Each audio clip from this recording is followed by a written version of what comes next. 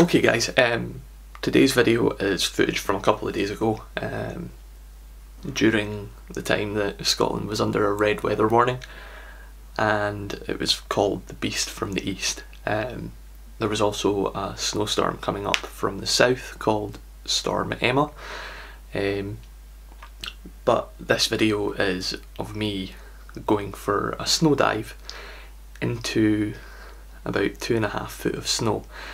Um, at the time, it was it was purely for a hangover cure, um, but to give it, not to give it anything in any means or terms anything, um, I've decided that I'm going to donate to the Scottish Association for Mental Health. Um, I'm going to donate basically enough for two um, therapy sessions for people, and um, the link will be down below.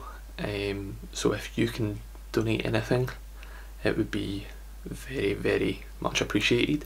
If you can't, then share this video, um, like this video, try and get it out there a wee bit more, um, and we'll try and get raise a, a fair amount of money um, for this association.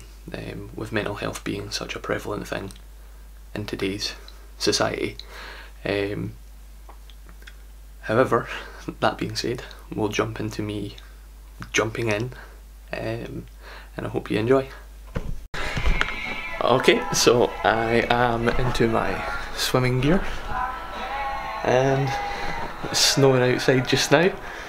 Excuse the music in the background, um, but we'll jump into it now. Uh, where am I jumping? Where should I jump? right there, right the front. Here. Just in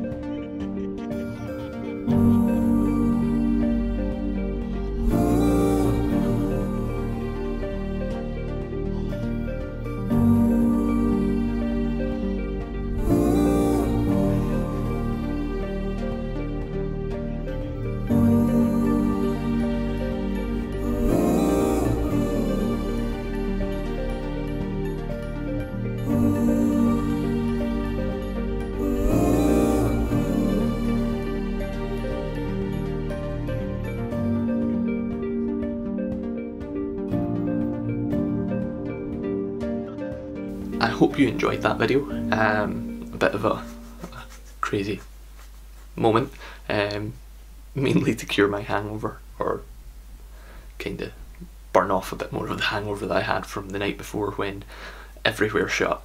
Everybody was basically trapped in their house, a wee bit of cabin fever set in, etc.